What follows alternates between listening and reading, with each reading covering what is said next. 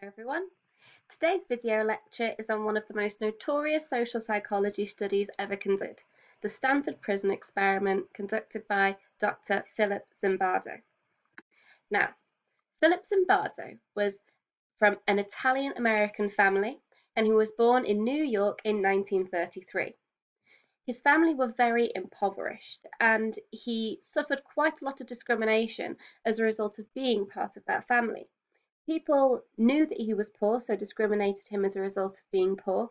They also often thought that he was an ethnic minority or they thought he was Jewish, which at the time Jewish people were suffering from a lot of discrimination. Um, as you can see, it was around the time um, that um, anti Semitic tensions were on the rise. So he suffered quite a lot of discrimination at a young age. Now, because of this, he developed an interest into why people discriminate and why people act um, towards other people the way that they do.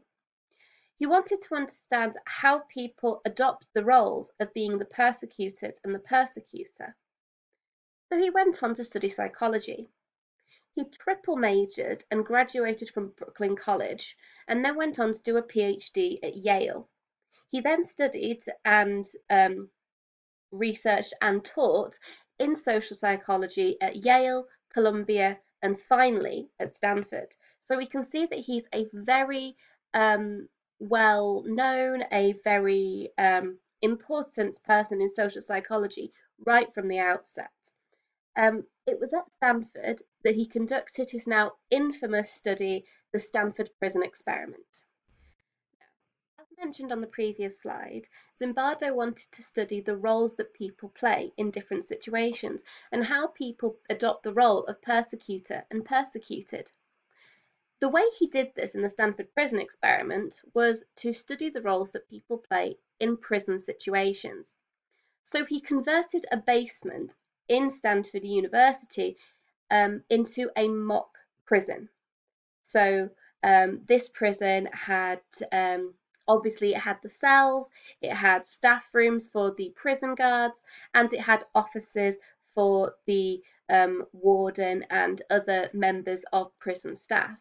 Now, these weren't actually prison staff, but in fact, they were students. So he advertised asking for volunteers, so students at Stanford University, to participate in a study of the psychological effects of prison life. So here we can see he deceived them slightly, um, as the study wasn't really into the psychological effects of prison life, but about social roles. When people volunteered to take part, he screened these respondents for psychological problems and history of crime. So 75 people applied to take part in this study, and he screened these 75 people.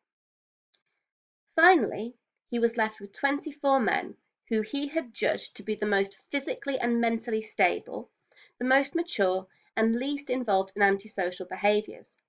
Now, this is really important because he took 75 people and identified those who are least likely to be of any danger, those who he considered to be least likely to be vulnerable to abusing prisoners or even to be um, an abusive prisoner. So these 24 men were chosen to participate and they were paid £15 or $15 sorry per day to take part in the experiment. So what happened next? Participants were randomly assigned to either the role of the prisoner or the prison guard. Now, once these roles had been allocated, the participants who were allocated as being the prisoners were immediately treated like any other prisoner. That means that they were actually arrested at their own homes without warning. Some of these were videoed and you can see these on YouTube. Um, so you can see that they're very shocked. They're arrested in front of their family, in front of their neighbours. At no point do the people who are arresting them, who are actually from the police department, actually say that they weren't in trouble, that this was just part of the experiment. They were treated exactly as though they had done something wrong. So they were arrested in their own homes without warning and taken to the local police station. Following this, they were blindfolded and driven to the psychology department at Stanford University. Here, they were taken into the basement. So they didn't actually really know where they were. all they saw was that they had arrived at the basement, well, at the um, at the prison. This is where the de-individuation process began. Now, if you remember from lecture, um, the de-individuation process is where you adopt um, a role that is less, that isn't as individual as your own. Now, I've not explained that very well. What I mean is um, the de-individuation process removes your individuality. So this might be from wearing a face mask so that you can't see your face, um, wearing a white lab coat to cover up your clothes, other ways that identify as an individual. So the way that they um, de-individuated the participants in this study was that the prisoners were stripped of their own clothes and their own personal possessions and instead were issued with a prison uniform. Following this, they were only referred to by the number on their prison uniform only. So this dehumanized them as well as de-individuating them. Also, the guards, so the participants who were um, allocated to being prison guards, were also given a uniform.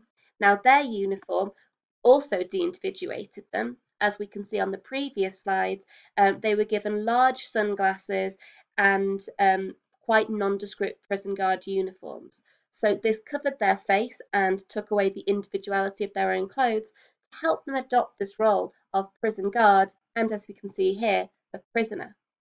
However, within a very short period of time, both guards and prisoners started to settle into their new roles. The findings of the study are quite dramatic, and I really can't go into the very, very in-depth findings of the study because of this only being a very short uh, seminar video, uh, but I'll summarise the key findings. So the guards and prisoners adopted the role of being a guard or a prisoner very quickly. The guards began to misuse their power, mentally and physically harassing the prisoners. So they did this by stripping them naked, depriving them of food, putting them in isolation, turning them against each other. They starved them. They put them in social isolation for longer than the hour um, that was the absolute maximum period of time. They put prisoners who misbehaved into isolation for much longer. Ultimately, they became uh, quite violent and abusive.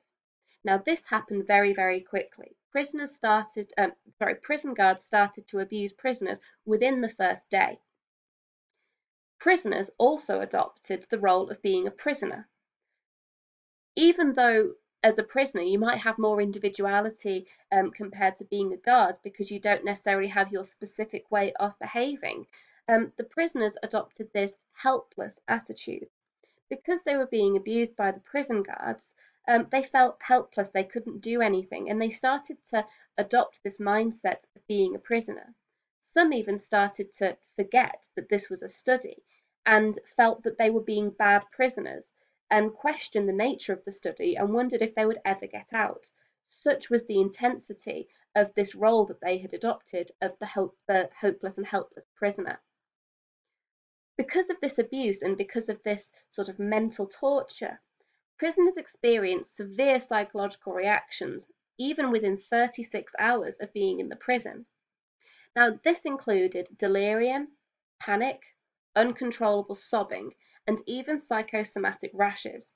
So, these participants developed stress related rashes as a result of the intense psychological pressure they were experiencing. Now, this research was supposed to be carried out over two weeks. However, the study was ended after only six days due to the extreme reactions of the participants, and it was deemed that it would be um, unfair and unethical to continue with the experiment. So, what were the conclusions? Well, according to Zimbardo and his colleagues, the Stanford Prison Experiment revealed that individuals are vulnerable to conforming to stereotyped roles. If you remember, these participants were identified as being really similar at the outset. They were all mentally healthy, they were all physically healthy, and all of them were considered to be at no um, vulnerability of becoming violent and antisocial. But they conform to these roles of being uh, the helpless prisoner or the abusive prison guard very, very early on in the study. So basically, if these really healthy, mentally and physically healthy individuals can conform to stereotype roles that quickly, then that shows that people who have other vulnerabilities, whose individual differences are not quite as strong against these pressures, will probably also conform as well. Because the guards were placed in a position of authority, they acted as they thought the situation demanded, to be authoritative and to be um, abusive to the prisoners. The prison environment was an important factor in creating the guards' brutal behaviour. None of the participants who had acted as guards had showed any sadistic tendencies before the study, and so it was their understanding of the situation and what they felt the situation demanded that moulded their behaviour.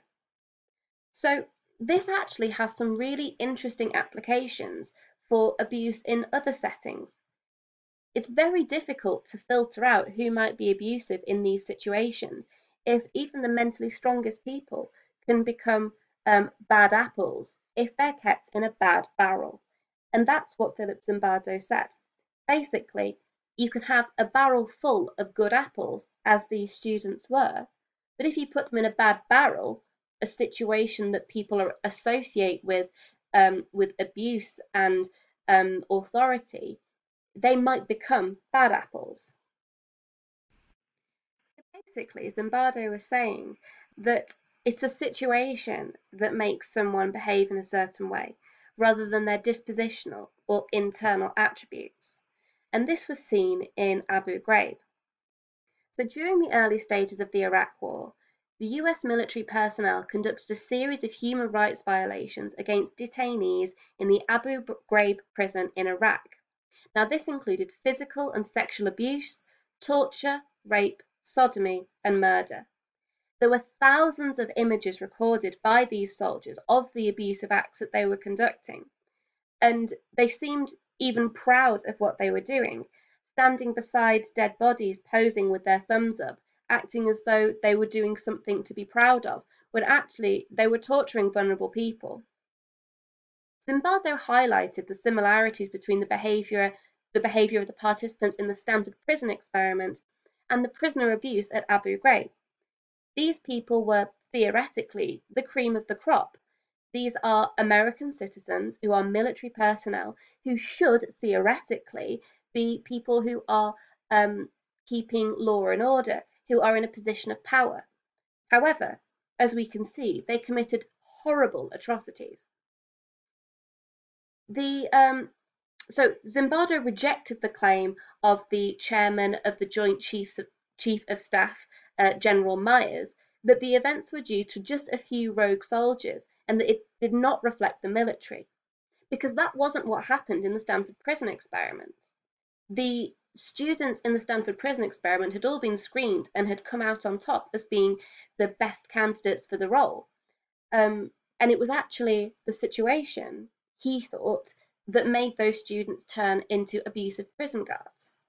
So it stands to reason that in this situation, um, individuals in the military um, were made to be rogue by the situation and not because they were just a few rogue soldiers.